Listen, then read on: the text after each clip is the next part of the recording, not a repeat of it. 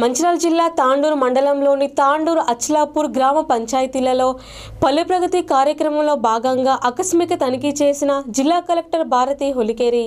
సర్పంచ్లపై పంచాయతీ అధికారులపై ఆగ్రహం వ్యక్తం చేశారు. తాండూరు గ్రామ పంచాయతీలోని ఒకటో వార్డులో రహదారి ప్రక్కన భారీ చెత్త కుప్ప ఉండటంతో పంచాయతీ అధికారులను సర్పంచ్లను పిలిచి వారిపై మండిపడ్డారు.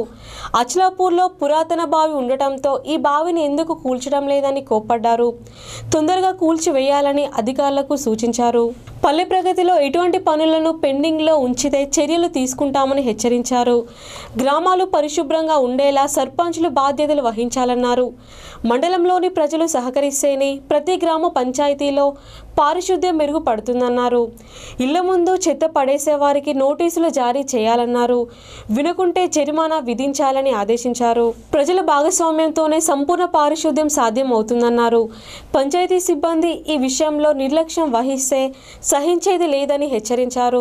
ఈ కార్యక్రమంలో తాండూ సర్పంచ్ అంజిబాబు అచలపూ సర్పంచ్ శంకరమ్మ ఉప సర్పంచ్లు Anil Satyanarayana ZPTC Banayya DLPO Phanindar special ఆఫీసర్లు మణిక్రావు కవిత ఈవో శ్రీనివాస్ పంచాయతీ సిబ్బంది అంగన్వాడీ టీచర్లు పాల్గొన్నారు.